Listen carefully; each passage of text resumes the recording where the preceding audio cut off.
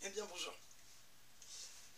Alors aujourd'hui je vais vous parler de, l'appareil psychique freudien. Freud il a décrit l'appareil psychique de deux façons. Il l'a décrit en 1915 dans Métapsychologie dans un des essais de ce livre qui s'appelle L'inconscient. Et cette description, on appelle ça la première topique freudienne. Euh, donc, topique, ça vient du grec topos, ça veut dire lieu. Et à l'époque, en 1915, Freud nous dit que le psychisme, c'est pas une chose qui se situe dans un seul lieu. Il existe en trois lieux différents. L'inconscient, le préconscient et le conscient. Donc euh, l'individu vit pas juste dans le présent et son psychisme c'est pas quelque chose qui est juste là comme ça dans l'instant présent. Ce psychisme, il existe euh, dans un espace un peu intemporel. On dit l'inconscient ignore le temps et la contradiction. Euh, c'est intemporel, l'inconscient. C'est quelque chose de qui n'est pas dans l'instant présent. Le moi est dans l'instant présent. Ce qui précède le moi, c'est préconscient. Et puis ce qui précède encore tout ça, c'est l'inconscient. Je ne vais pas énormément décrire ces trois termes, inconscient, préconscient et conscient, parce qu'ils parlent un peu d'eux-mêmes. Et puis je vais parler de la deuxième topique freudienne. Et dans cette deuxième topique freudienne, on aura des précisions sur ce que c'est que l'inconscient, ce que c'est que le conscient, ce que c'est que le, préconscient. Donc, j'irai pas plus loin, mais on peut lire ce texte de Freud qui s'appelle euh, L'inconscient, qui est un texte court et, qui est intéressant. Voilà.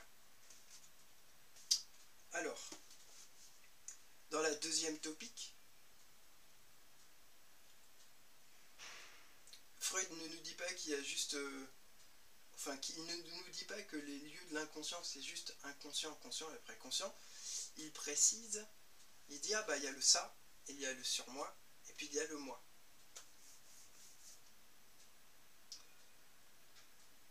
Donc euh, j'ai un peu m'appuyer sur ce que j'ai écrit pour vous lire des phrases de Freud pour être un peu précis. Donc en 1923, dans un essai qui s'appelle Le moi et le ça, qu'on peut retrouver dans Essai de psychanalyse, Freud nous dit. Qu'est-ce qu'il nous dit? En fait, il, nous propose donc de décomposer le psychisme en trois instances, ça, moi sur moi, c'est la deuxième topique. Concernant la première de ces instances, le ça, Freud nous dit qu'un individu est un ça psychique inconnu et inconscient à la surface duquel est posé le moi. Le refoulé, pulsion et représentation, donc les pulsions d'agressivité, les pulsions génitales, les pulsions d'autoconservation, représentation, c'est les choses qui sont en mémoire. Le refoulé, pulsion et représentation se font avec le ça, le verbe fondre, se font avec le ça, et il n'est qu'une partie de celui-ci. En 1933, dans les nouvelles conférences d'introduction à la psychanalyse, Freud nous disait aussi à propos du ça qu'il est ouvert à son extrémité vers le somatique, vers le corps, que là il recueille en lui les besoins pulsionnels, pulsions d'autoconservation, qui trouvent en lui leur expression psychique. Donc les pulsions d'autoconservation du corps s'expriment dans le ça, elles trouvent en lui leur expression psychique. À partir des pulsions, le ça se remplit d'énergie et il aspire à procurer satisfaction aux besoins pulsionnels. Donc, en résumé, on peut dire que le ça est l'inconscient dans lequel sont contenues les pulsions et les représentations refoulées, inconscient à la surface duquel est posé le moi. Donc première topique, inconscient, conscient, préconscient.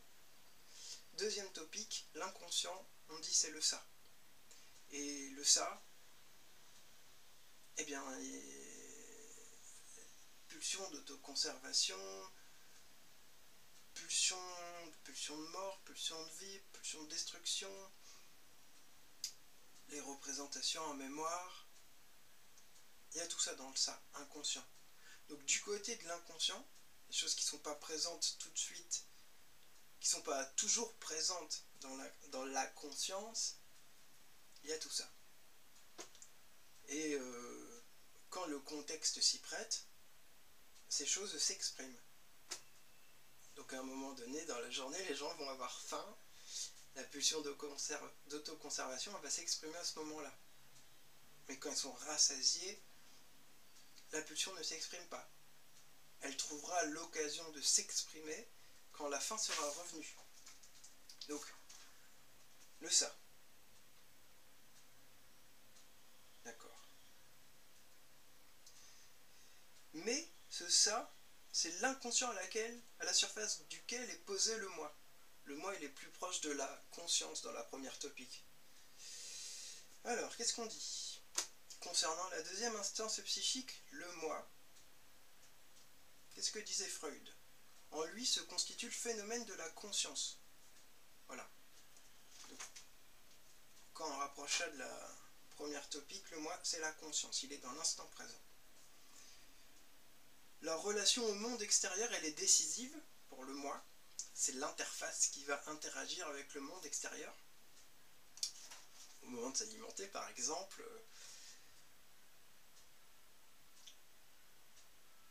Et donc, sa tâche au moi, il assume la tâche de représenter le ça pour le salut du ça. Il est son représentant. Donc un individu, c'est pas juste un moi, c'est quelque chose de plus vaste. Et ce moi qui est dans l'instant présent, il, a la charge du salut de cette chose bien plus vaste qu'est l'individu.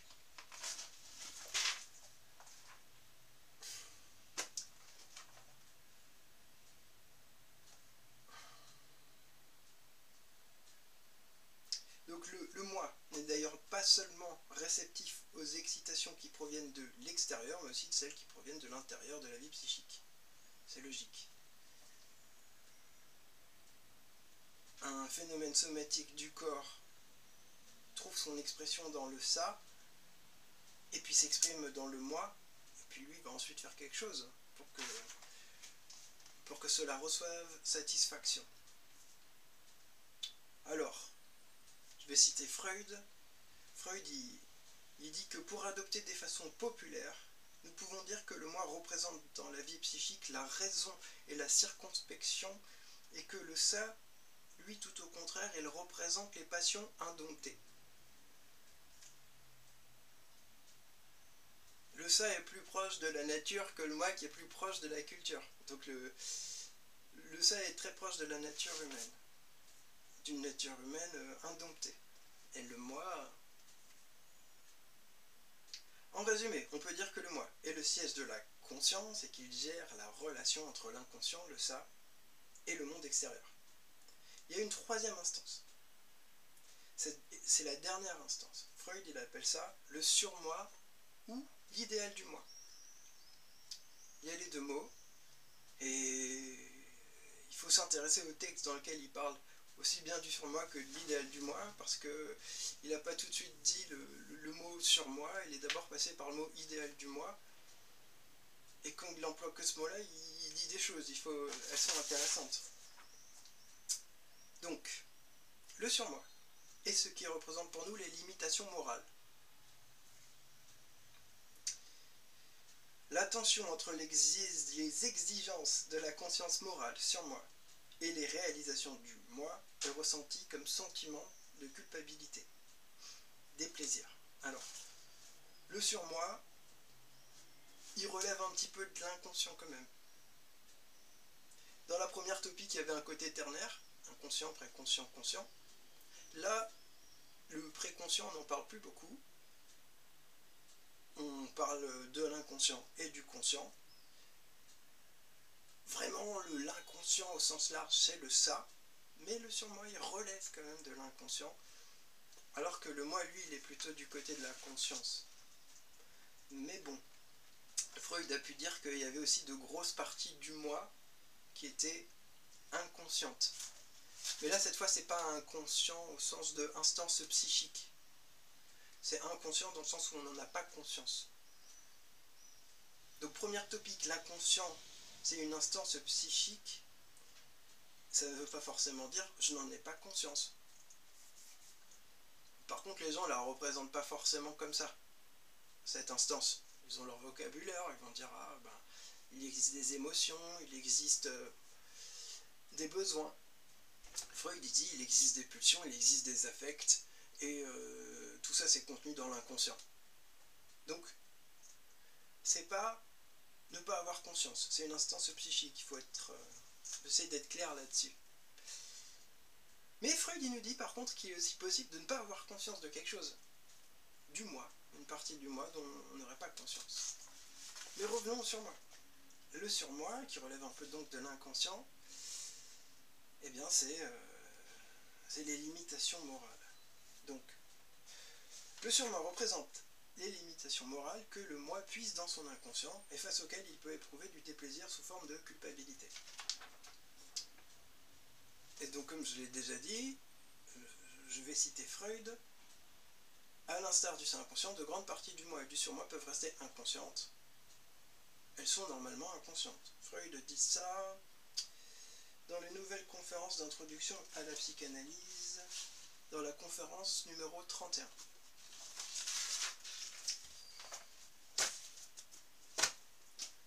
D'ailleurs, dans les nouvelles d'introduction à la psychanalyse, dans la conférence numéro 31, il existe un schéma, c'est ce schéma. Freud, euh, Lacan a pu dire de ce schéma que c'était le schéma à l'œil, parce que ça ressemble un peu à un œil. Si vous voulez, vous pouvez mettre pause, vous le recopier. Et donc, sur ce schéma, on voit bien l'inconscient, le préconscient, préconscient conscient, le surmoi qui est représenté, le ça, le moi, le refoulé, et donc euh, là, on est plus proche de la conscience. Tout ça, c'est ce qui est en deçà de la conscience et qui peut émerger en fonction d'un contexte.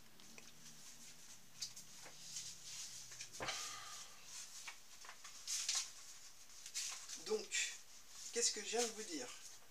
Je vous ai parlé du ça, du moi et du surmoi. Je me suis appuyé, et de l'inconscient, du préconscient et du conscient. Je me suis appuyé sur le moi et le ça, un texte de 1923, la conférence numéro 31, les nouvelles conférences d'introduction à la psychanalyse, texte de 1933, et sur euh, l'inconscient dans Métapsychologie, un texte de 1915. En termes d'anecdotes, je vous dirais que... Euh, je, vais, vous dire les termes allemands pour ces, bah, pour ces mots, parce que, parce que si vous lisez Lacan, ça lui arrive d'en de, parler en allemand. Il s'embarrasse pas de la traduction. Alors, en allemand, le ça, c'est S. Le moi, c'est ich. Et le surmoi, c'est über ich. L'inconscient, c'est unbewusst. Et le conscient, c'est Bewusstsein. Et préconscient, je sais pas. Euh, donc si vous voulez lire ces textes, vous pouvez. Hein, euh, on les trouve soit dans les œuvres complètes, donc c'est organisé différemment. Il y aura, il y aura pas les mêmes textes. les œuvres complètes, elles sont plutôt organisées euh, chronologiquement, alors que ce genre d'essai, c'est pas chronologique c'est plutôt thématique. Donc là, des textes sont rassemblés par thème. Ici, les textes, ils sont rassemblés dans l'ordre chronologique d'écriture par Freud. C'est à peu près tout ce que je voulais vous dire pour l'instant sur le ça, le moi, le surmoi, l'inconscient, le préconscient, le conscient. J'en reparlerai à d'autres moments. J'apporterai des précisions parce que parce que c'est des instances, elles sont complexes, elles, vont s'exprimer à certains moments de la vie d'un individu, ça produira certains effets, et donc on ne peut pas se contenter de survoler les effets comme ça en quelques minutes.